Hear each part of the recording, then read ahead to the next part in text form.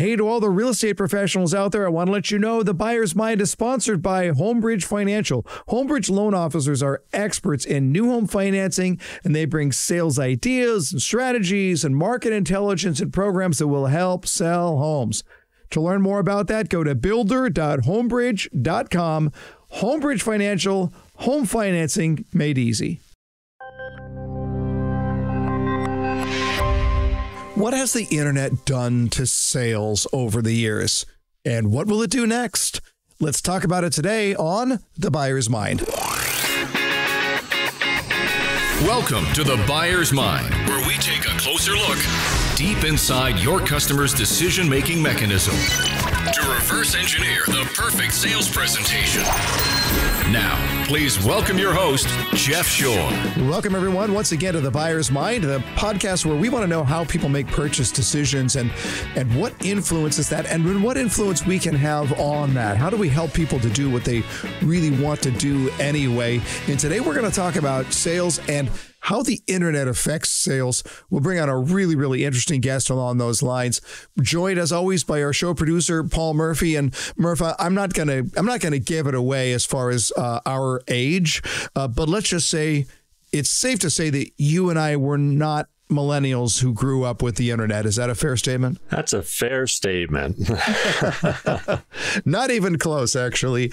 Uh, but it's interesting because now, as consumers, for you and I both, how much do we rely on the internet when we're when we're pursuing a purchase decision? You know, it's a ton. Uh, you know, I find myself doing a lot of research when I'm in the midst of trying to do a purchase. Yes, and we, when we look at that, we know that that internet can give us so much information that back in the day when we had to make a purchase decision it was all about research. It was about finding the right people.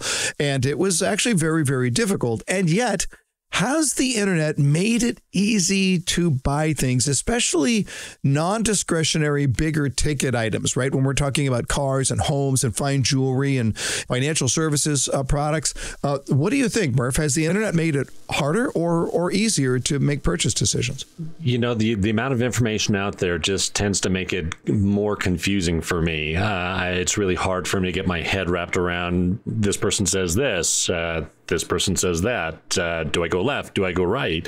Uh, it, it just it mm-hmm. gets to be overwhelming because there's so many opinions out there. You know, I was uh, considering recently whether I wanted to purchase the the Oculus Go, which is sort of the starter level for a virtual reality headset. It's a standalone headset, and I was like, do I want to? Do I not want to? And part of the problem is, is I was trying to research it online, and there are so many articles and reviews, but they were all written by people who are much smarter than I am when it comes to this type of thing. In fact, most of them were written by serious gamers who've got, you know, uh, extremely high tech equipment and they're trying to do a review on something, but it's from a completely different perspective. The reviews were just frankly more confusing. It wasn't until I was actually in a store where I found a guy. It was happened to be at a Best Buy, and I just asked for his opinion. Now they didn't even sell it; they were sold out at the time. So I, he said, "You're gonna have to order it online in any event." But when I was asking him about the Oculus Go, he, he stopped and he just said, Well, how much do you know about this stuff already? Like, are you a serious user? Like, no, it's the last thing I am is a serious user. And he asked me a couple of questions. He said, I'm going to tell you right now, you, you are who they designed this for. This is the entry level stuff. It's not the most sophisticated, difficult to figure it out. You can put it on and use it right away. It's miles ahead of where we were just a few short years ago. And for a couple hundred bucks, what's the worst thing you can do? And he was so right because he knew me well. And I think that's the main thing is that when we're thinking as sales professionals, how we interact with the internet, the fact of the matter is that the internet does not know our customers well enough on an emotional level.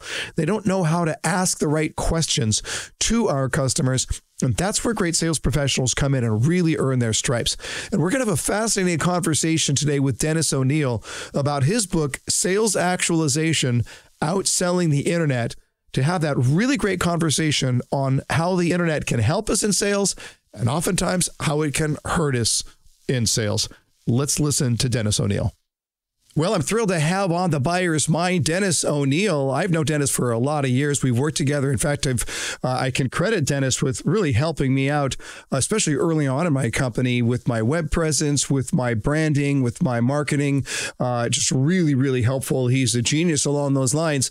But he's also one of these interesting guys that understands the marriage between sales and marketing. Sometimes there are people who really get sales and really get marketing, but Dennis gets both. And we're going to talk today about his approach and about about his book, Sales Actualization Outselling the Internet. Provocative title. Please welcome to the buyer's mind, Dennis O'Neil. Dennis, how you doing, sir? I am doing great. Thanks very much, Good. Jeff. I appreciate uh, the opportunity to participate. Absolutely. Uh, representing uh, both the coasts here, I in California, you're out of Maryland, if I'm not mistaken. That is right. That is right. Yeah. East Coast. Okay. All right. Uh, I, before we get into the book, let, let's just talk about that sales marketing thing here. You know, oftentimes, as you know, over your career, you've seen sales and marketing get lumped together. They are two very, very different disciplines. I think sometimes people think, well, I understand sales and therefore I understand marketing, or I understand marketing and therefore I understand sales. Uh, right. They're not the same beast. And uh, no. yet you've somehow figured out how to live in both worlds. yeah, it, I would completely agree. They're absolutely absolutely not the same. Uh, I, I, have spent, uh, I've been in sales roles for 25 plus years, and, and a lot of that I've had sales and marketing both. Um, and it's just, uh, it is a very different perspective in terms of the marketer's goal. You know, they think systems, they think big, they think campaigns, they think how do we build demand?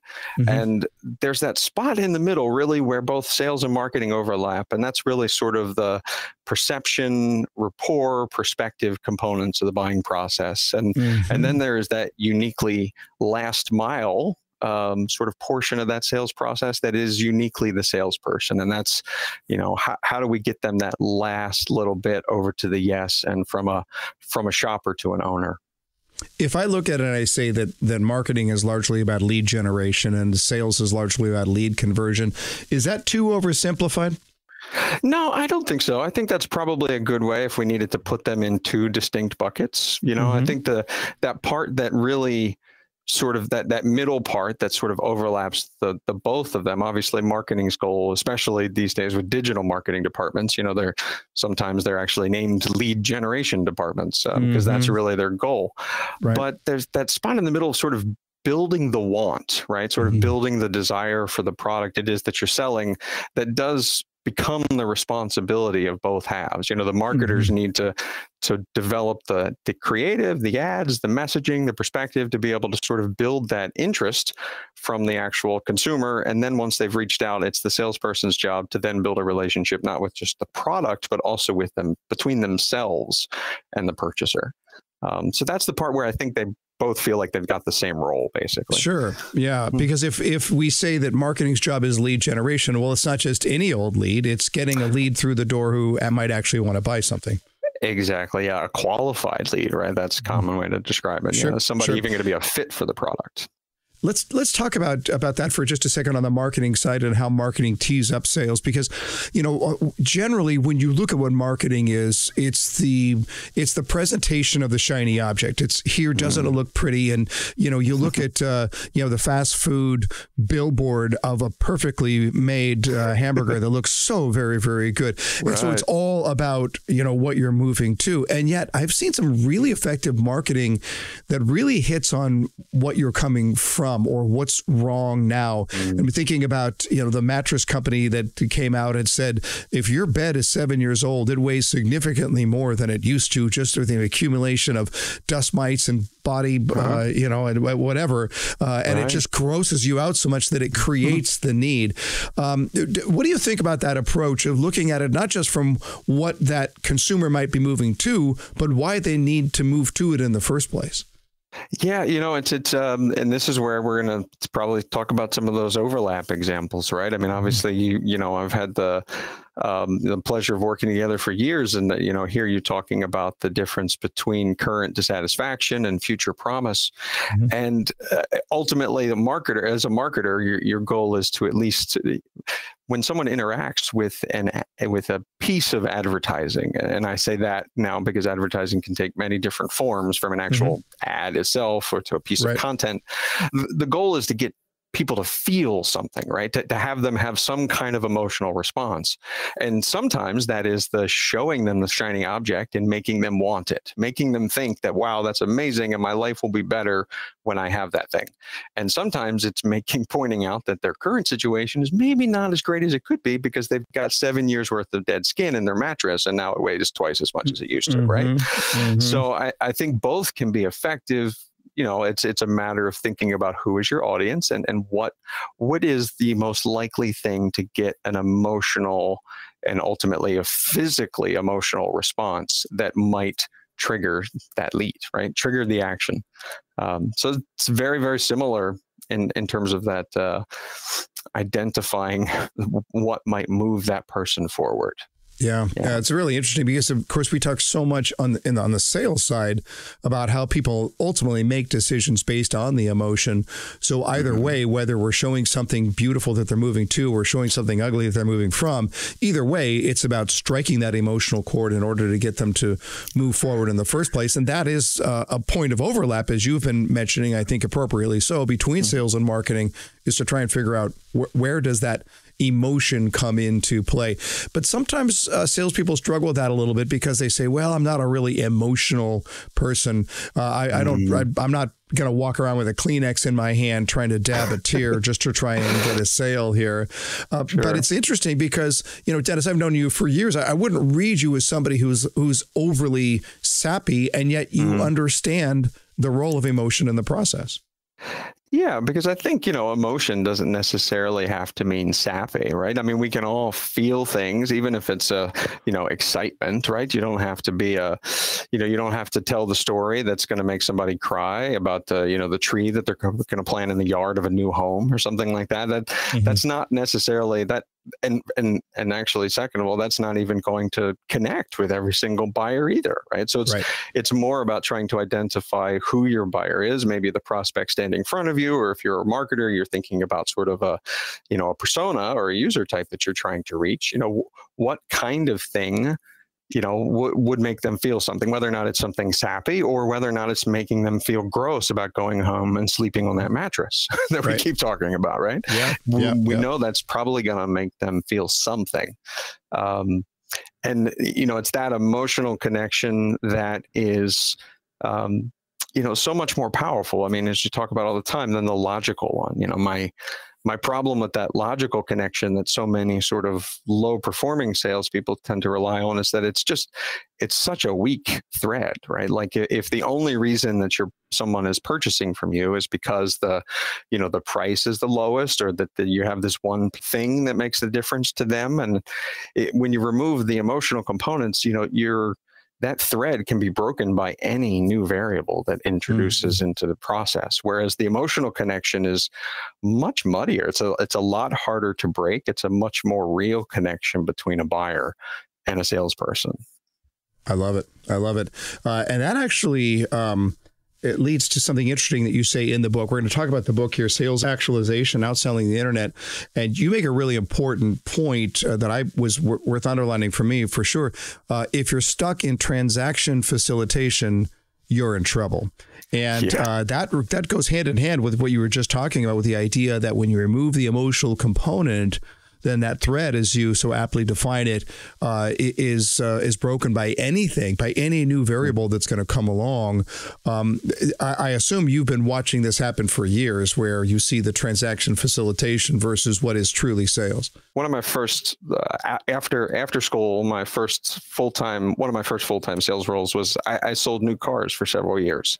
Oh, really? And yeah, we think about the car business in the 90s, you know, this was it was major impact by the internet, right? Mm-hmm. And, and this new tool that consumers were given, where now they could look at prices and used to have to go buy like books. People used to come in with before the internet was even more prevalent. But right, right. Um, you know, I saw these salespeople. Uh, you know, I worked. I was a young guy at the time, and I saw salespeople that had been selling cars for you know 40 years, and and they just they just railed against the internet. It's the worst thing ever. You know, why do people have now they know now they know this and they know that. And they were just really struggling with not being the gatekeeper to this kind of information because that's where they got their power. Mm-hmm. Um, and you know, the, the internet took all that power away from them.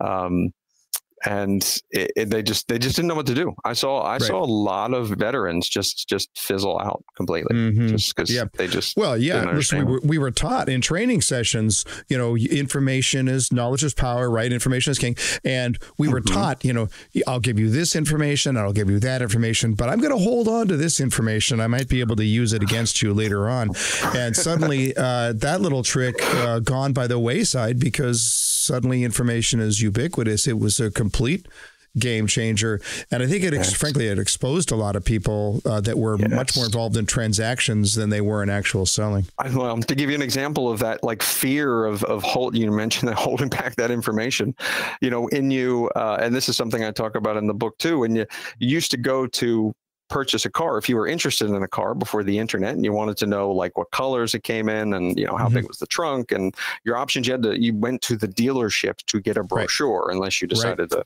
to ask for the manufacturer well mm-hmm. I, remember um, in the dealership the the you know the older the older school sales team they would take the brochure and make sure that it was behind the desk the mm-hmm. rack because that mm-hmm. way they didn't want anybody to get a brochure without right. them going through them first Sure. Uh, they were scared to death, scared to yep. death of even that information getting out because they wanted to control everything. Mm-hmm, yeah. Mm-hmm. There's the, so the, many better ways to make value, and uh, there's, no there's so many more ways to be valuable as a salesperson. Yep, a, a different world, no doubt about it. Uh, the mm-hmm. book is called Sales Actualization: Outselling the Internet. Uh, give us the origin of that uh, title. Yeah, so the Maslow's hierarchy of needs, and I know you're familiar with that, but uh, mm-hmm. you know the the sort of the pyramid of sort of where human need comes from. You know, and it, if you think of obviously bottom of the triangle, it starts with sort of the basics. You know, you're needing things like food and shelter. Um, and as you go up in terms of human levels, you know, performance, and eventually the peak of that uh, is referred to as self-actualization. Um, so as I'm watching, you know, throughout my career, the internet sort of like really becoming a consumer from from not existing to becoming an everyday part of everybody's lives, but but being a part of the sales process and marketing process throughout this entire time, I've always just sort of been intrigued with with how that has changed the buying process. And as I started seeing the salespeople who were just slowly fizzling out as the internet just got to be a better and better salesperson, and how the they just these salespeople just had you know they railed against the power of the internet that it had. I noticed that not everybody had that problem. Not not every salesperson was really concerned. I mean, some people were like, "Oh yeah, sure, bring in your printouts and you know, bring in this and bring in that," and you know, instead of railing against it, they instead embraced what they did better than the internet. Um, mm-hmm. Um, and then I found myself sort of like going, okay, and asking questions about like, where would these skills, you know, what what are these unique skills that the internet is either already doing, what is it that the internet is trying to do, and what do I think maybe they can't it can't do. Um, mm-hmm. Um, and then I, I, I, was inspired by Maslow's pyramid and, and organized it into the sales actualization pyramid. The book is written in an interesting way too, because uh, you know I, I, salespeople have short attention spans. I, I, can say that because I'm a salesperson with a short right. attention span, and uh, the chapters are just you know a couple of pages long, mm-hmm. but it's really a, a collection of thoughts that's expanded each way. Right? That's probably the best way to look at this. Yeah, no, you're 100% correct. Um, a lot of the book was not written in order. Uh, just mm-hmm. over time, I, I, wrote these pieces here and there. And then as I was sort of organizing the pyramid, I sort of filled them in in the order that I thought that they fit best. And then I, I filled in the blanks that I thought that needed a little bit more explanation. Sure. So it was yeah. absolutely written that way. Yeah. There are some really interesting points that you make, though, that really caused me to just go, "Whoa, he is so hmm. right." And in fact, here's one that I'll give you from the from the book that I actually shared with a sales team just this last week. I gave you credit, but uh, I, I love this quote here: "The internet, the internet is the biggest feature dumper ever." And it's so yes. funny because in sales, we talk about feature dumping all the time. And you're like, feature dumping, mm-hmm. bad, bad, bad, bad, bad. But when right. we look at the internet, I, I never thought of the internet as a feature dumper. And yet that's exactly what it is. Yeah, it really is. It's just it's all data, right? Like mm-hmm. it's just all just numbers and stats and measurements. And yes, there's photos, but you know that's the same thing. It's just feature dumping. It's just look at sure. this, look at this, look at this. You know, right. it doesn't have the context of of its who its audience is. Right. Um, yeah. Big limitation. So, and that's a big part of what you've done then in the book is to look at it and say, uh, well, again, to put it in your words, when information is free and ubiquitous, customers value perspective. And a large part of this book is the idea of the salesperson providing wisdom uh, rather yeah. than information, right? The, the internet can already give uh, the information. What does the salesperson do that's different? Because otherwise, you know, boy, we we think that well, if I just have enough data, I'll be able to make a wise decision. That's not how it works, is it? No, I mean, I'm thinking about uh, you know, anytime you're making a big decision, the the fear oftentimes comes from not knowing what you don't know, mm-hmm. and and that's what the internet can't really solve. You'll never know if you've read every article that you need to read to be able to buy the best camera. You right. know, you'll never know if you've actually like considered all of the best brands if you didn't find the one that you should have mm-hmm. found right so there's this fear of missing out the fact that you while you could theoretically ask questions you know the the problem with the google search box which i love and use mm-hmm. a million times a day like everybody else sure. does is right. that it it relies on the fact that i know what i'm looking for Mm-hmm. You know, mm-hmm. it, it it relies on me typing something into that box, and mm-hmm. and that's something that's not human, right? So that, right. that that's something that is a differentiator as a human, as a salesperson. I I have the ability to learn and ask questions and ask the right questions about my shopper, about my mm-hmm. buyer, and to then actually give them the wisdom and perspective that they didn't even know they needed mm-hmm. to make the mm-hmm. best decision. Right. Um, and the salespeople that operate at that level, they, they're not threatened by the internet because they know mm-hmm. they're doing something that the internet can't do. But it's but it, I, am curious about your perspective on this because mm-hmm. when we look at what happens going forward, and if salespeople choose to ignore this, they might be in trouble. The fact is, the internet is getting smarter. And mm-hmm. when we look at uh, the way that uh, Google is going to, and, and others like them, uh, are learning the behaviors, the the the uh, preferences of their user, now what's happening? It's like, well, I think you might want to be thinking about this instead. Do you agree with that? Do you think that the internet is getting smarter, and therefore that salespeople are going to have to stay up in front of this because eventually it, it could run some salespeople out of the job? True. Yeah, and, and I do absolutely believe the internet is getting smarter. I mean, what what the big companies, you know, the big three, right, Amazon, Facebook, and Google are doing with artificial intelligence is really impressive. Mm-hmm. Um, and I, I, do think that you know one of the one of the levels that I talk about in the book in the pyramid is the the relationship level, which is sort of um, you know closely related to that wisdom level, where you you have enough of a relationship with a buyer that you know you can ask them the questions maybe that might be sensitive for some other salespeople to ask mm-hmm. them, or you you can know them to be able to know what they would most benefit from, right? And I think what we're seeing now with AI and data collection and, and the way they're able to process all this information is, is that sometimes they can come up with some pretty good suggestions. You know, I mean, mm-hmm. so I absolutely believe that they're making strides. I think they've got a, still a long way to go because I'm sure you get some really oddball suggestions in your feed at times too. Like, mm-hmm. why did Google think I was interested in this? Why right. is Facebook showing me this ad? Yep. Um, so there's definitely room to grow, but there's there's no doubt about it. They're they're encroaching in that space 100%. Mm-hmm. But but this goes we tie this back earlier to where we were looking at the role of emotion and how as human beings we make decisions from our emotional core, we support them with logic. This is one where the internet is going to have a hard time. I'm not saying they can't get there, but they're not there mm-hmm. yet. Really uh, trying to identify and understand because if we have that relationship, I'll let you into my life, I'll let you into my heart, I'll let you into my emotion. It's difficult mm-hmm. to do that with uh, with the internet. It it really is. I mean, no matter what, it's still going to be spitting data back at you, right? Mm-hmm. It's going to be spitting yeah. solutions and tools, and you know the it it's going to assume that you know what to do with it, right? Like right. that's um, you know, the joke of the you know holding a hammer doesn't make somebody a carpenter right you know mm-hmm, like mm-hmm. and the internet basically throws hammers at you and says here you know i mean it's like it assumes that you're going to know what to do with it but you know somebody who can really ask the right kind of questions to get to know what's right for the buyer and their family and what is mm-hmm. truly going to improve their lives and make them better that's that's still not something that the internet has the ability to do. But you make an interesting point that that if that's not what it's doing, then in the book you suggest that the internet has obliterated our patience levels. And I look mm-hmm. at it, you know, one of the things I frequently remind salespeople is that a confused mind tends to say no. When we get right. overwhelmed with logic and analysis, uh, we just go back to whatever we already know. We go back to our comfort place, whatever that is.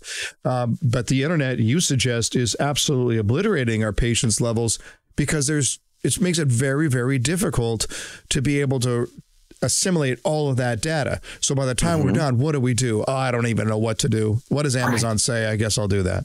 Mm-hmm. Yeah, and and I would say too, you're right. You see this sort of situation where you get into you've been searching for that, you know, the the perfect widget for hours at Google, and you're just exhausted, and you're looking at things here and there, and reviews on this site and reviews on that site, and then you know sometimes you you just sort of give up and you go like all right well whatever i think this might be the closest thing that solves my problem and mm-hmm. and i guess for lower dollar purchases you know that i think that's probably a risk that a lot of people are willing to take you know that they mm-hmm. haven't bought the right. right. thing for them you yeah. know but but as you go up that dollar scale you know i think inaction is the result of that. You know, mm-hmm. the people just don't make a decision. They don't. They don't buy the new car. They don't move to a new home. They don't make any other kind of large investment or purchase because they're just too confused to say yes to anything. Right. Um, and that I, that's that's you know I keep going back to that. This is where the this is where the, a, a real salesperson, somebody that's sort of operating up at that higher level, um, can actually make a big difference. I mean, it's you know, I, I, know mm, sort of share the belief that you know sales is an art form. You know, mm-hmm. it, it is not something that is that is can be simplified down into to words on a page, um, words on a screen. You know, similar to the way that um, I use the comparison often of the, you know, the joy of painting with Bob Ross, right? Like, mm-hmm. you know, I, I, can watch him paint, you know, I'm mesmerized by watching him paint and he makes it look incredibly simple. I mean, I can buy the same paint that he buys. I can, mm-hmm. I can buy mm-hmm. the same canvases, but that doesn't necessarily, that, that absolutely does not mean that I've seen it now on the internet. And that means that I now, I know everything about it to be able to reproduce it the same way. Um, and that that's the difference. That's what i that's how one of the reasons why i know that sales is an art form because i can you can read every book you can read every script but it still doesn't prepare you for the variables that you're dealing with when you're dealing with another human and you're truly trying to solve their individual problems and or or identify the ones that they don't know they have. Right. Um, right. those are the best kind. You uh, proffer in the book here that the highest level of sales actualization is meaning. And I love the examples that we have. You know, you, you use Apple very quickly, which is I'm mm. all over that one as a mm-hmm. as a fellow Apple geek. And we want to have meaning in the products with which we interact. We, we don't want to see it as simply a commodity where I'm going to mm-hmm. chase the best price. We, we want to feel really good about the purchase decisions that we make. And so, from the perspective of the sales practitioner, it's providing meaning above intelligence, even above wisdom. Can you expand on that mm. just a little bit? Sure. Yeah, I, I, think that it's you know it's it's obviously um, you know the salesperson doesn't have to create meaning on the scale of an Apple marketing campaign, right? Mm-hmm. You know, it mm-hmm. uh, they don't they're they're not responsible for ninety one billion dollars in revenue or whatever that was Apple reported last quarter. Right. Um, you know, they, they, just they didn't need to manage their prospect pool, right? Their sales mm-hmm. office. So what they have the ability to do is to identify what it means to do business with them. And, and I mean them personally, not even a, a connection beyond the, the product or service that it is they're selling, but you know wh- why do you buy from bill you know why do you buy mm-hmm. from sally right like i buy from these people because this is who i am and mm-hmm. so being able to to find a connection that prospect then internalizes as part of their own identity um, I'll, I'll, go back to a, a, um, a car example where um, he did eventually um, get replaced by the internet, but but a mm-hmm. wonderful guy, um, a wonderful guy that I worked with in the car business, who had been there for you know been in the same dealership for thirty plus years, never took an up, you know, ne- never talked to anybody that walked in the door, and he had a steady stream of people every single day, and it was because he had been there for so many years that he had a book of business that people came to buy from him and they told their friends and their family and, and everyone generations of people came to him because that's what they did. That's who we buy from. We buy cars from Lee. That's mm-hmm. what we do. So it was to buy a car or from someone else would have been against who they are. You know, they would have been against it almost would have been like against their own nature to purchase from someone else. And that's the kind of connection when you can help a buyer prospect to be able to identify what it means to do business with you. Maybe that means what you support individually. Maybe you also have a maybe you have a similar uh, charitable interests. You know, maybe you have uh, kids in the same school, or maybe you're supporting the same community.